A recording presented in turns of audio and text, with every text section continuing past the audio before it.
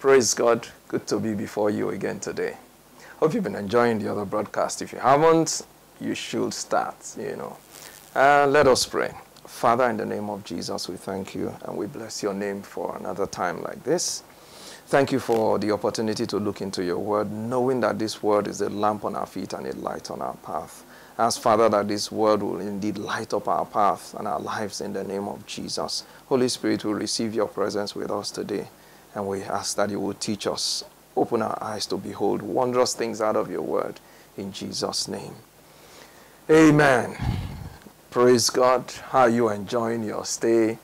Or as Daddy calls it, Daddy Joe calls it, a compulsory holiday. I hope you're enjoying it though, not getting bored because someone told me today that, man, I can't wait to resume work. And I was like, what? You know, so there are people who really enjoy their work and they can't wait to go back to work. And I'm sure there are some of you out there who are, who are saying, man, I wish this could go on for like a few more months. Let me just get myself back.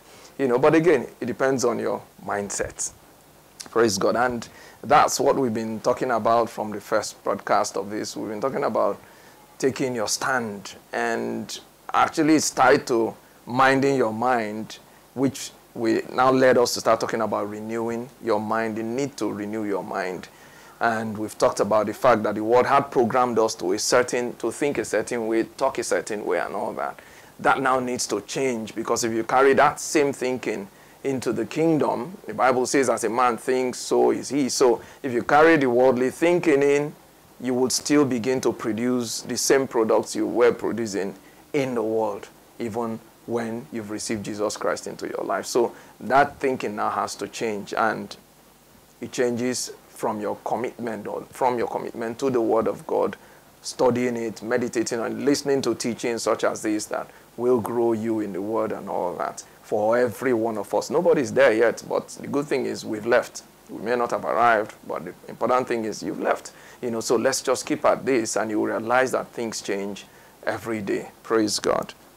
And by now, if I ask you how you're doing, I expect you to say, I'm blessed and highly favored. And I will say amen to that for you and I in Jesus' name. All right, we said we're going to begin to look at determining or determine your outcome. So I, I, I, was saying in one of the previous broadcasts that I was thinking, I was praying after, during this, um, in the wake of all of this COVID-19 thing.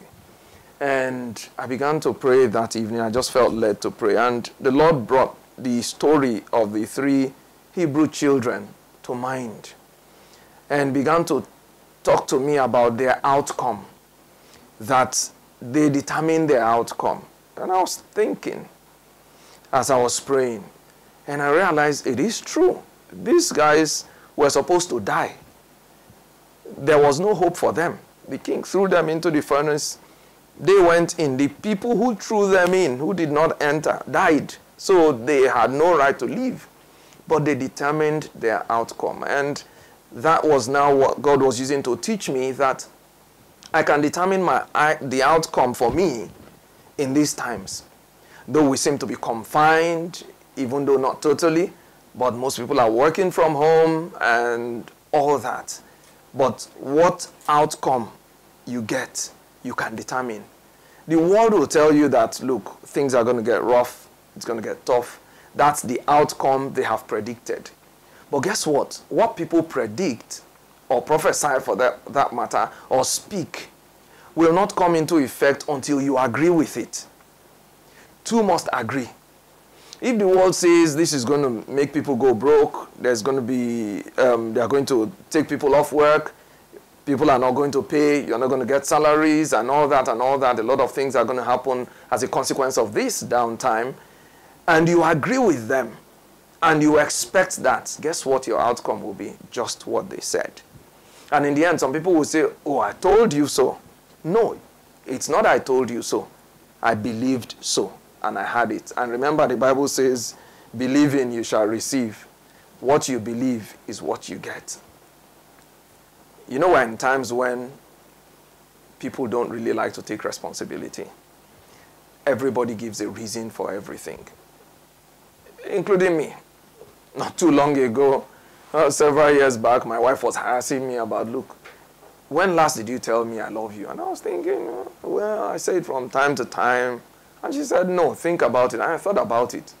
I really did not say that anything near often, you know, and I was trying to defend it and say, well, you know, you know I love you. You know I this, I do all of this. This the reason I do this is because I love you.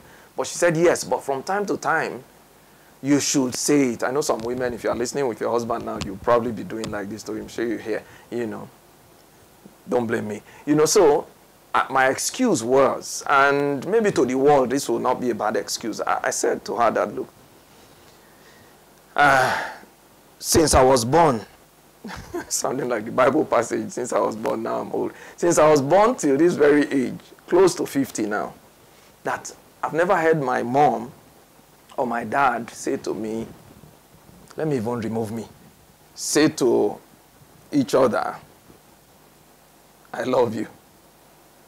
Talk less of now saying to me, I love you. But I knew they loved me because of all the sacrifices they put in place, they made for me. I knew. But because I never heard them say, I told her that that's the reason it doesn't come easy to me. And she said, Well, you have to decide, you can change it. And even though I still argued, did not admit, but when I sat back and thought, you know, sometimes the Holy Spirit will bring you back after you've made all your mouth and everything. The Holy Spirit will bring you back to what you ought to do. And he taught me and said, Look, Emeka, you can make a change. You can decide to do it from today. Remember, our anchor of scripture still remains, for now, Romans chapter 12, verse 2, because all of this is tied to a renewed mind. Romans 12, 2, and do not be conformed to this world, but be transformed by the renewing of your mind, that you may prove what is that good and acceptable and perfect will of God. Said, my mind has to be renewed if I'm going to take responsibility. Because the way of the world is such that when somebody is a serial killer, they say, well, he was molested when he was a youth, and then they bullied him in school. So this is the reason he's turned out this way. You know, I don't say I love you often. I say, well, I never heard my parents say it. So I give, I give an excuse for everything. But the truth is, you can determine your outcome. If you choose not to pick up the excuse, instead of finding an excuse not to do it, find a reason to do it. Find a reason to do what the word says to do. We cannot make excuses you know, I can't do this because of this. I can't do this because of this. But if I want to determine my outcome, I have to be the one who says, no, this is what I choose to do. I'm not going to embrace the excuse. I take responsibility for where I am.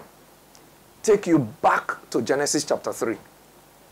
All of this, where we are today, started because some man and some woman refused to take responsibility. Do you remember the story in Genesis 3? God asked Adam, What? What's going on here? I'm paraphrasing now. And Adam was like, Well, hey, the woman you gave me, that's the problem. And God was like, Woman, what did you do? And the woman was like, Hey, Lord, not me. The snake that you created, that's a problem. God didn't realize recently that God didn't ask the snake, What's your problem? What happened? God just said, because you have done this. Because the first two he asked, was the problem? They passed it and passed it. Maybe the snake would have passed the buck to something and said, Lord, it's you that created me. I don't know how you created me like this. You know, but in other words, God was looking for either of them to at least take responsibility. They didn't. Everybody blamed the other person. You have to take responsibility beginning from here now of what your outcome will be from this time of stay at home, this restriction, that restriction. Do you want to come out broke? Prosperous, sick, healthy, it's your choice. Life and death. Choose life. That's what I will advise you. We'll get into this deeper in the next study. You know, just want to say God bless you. Thank you for listening. You are blessed and highly favored. Keep living the good life, living it up in Jesus' name. Amen.